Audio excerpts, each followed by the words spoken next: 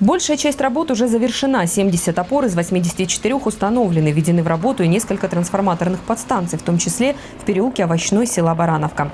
Еще две ТП сегодня устанавливают на верхней и нижней пластунке, где сельчане уже привыкли жить без света, особенно в осенне-зимний период, а номера телефонов диспетчерской электросетей знают наизусть. Сегодня проект реализован порядка на 70%. Не только резервируем эти поселки, но мы еще прибавляем мощность, которая позволит обеспечить и перспективу развития, то есть подключение новых потребителей, не навредив старым потребителям. Особенность новых подстанций в том, что мощность каждой из них можно увеличить с 25 до 630 киловольт-ампер. Для двух улиц Лиселидзе и Джапаридзе этого более чем достаточно, отмечают специалисты. И качество электричества от присоединения новых абонентов не пострадает.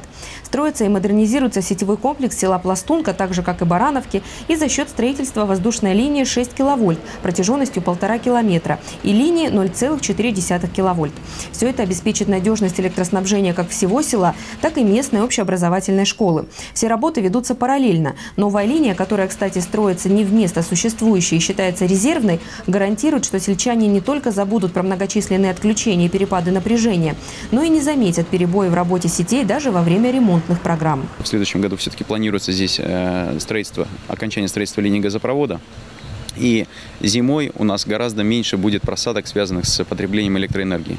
То есть, в принципе, у нас пластунка выходит на такие лидирующие позиции в плане того, что э, у нас будет высокое напряжение, у нас будет газ, у нас сейчас хорошая дорога.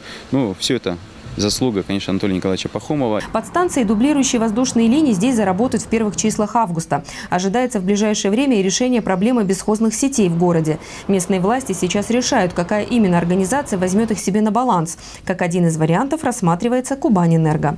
Галина Моисеева, Инга Габеша, Борис Осин, телекомпания ФКТ.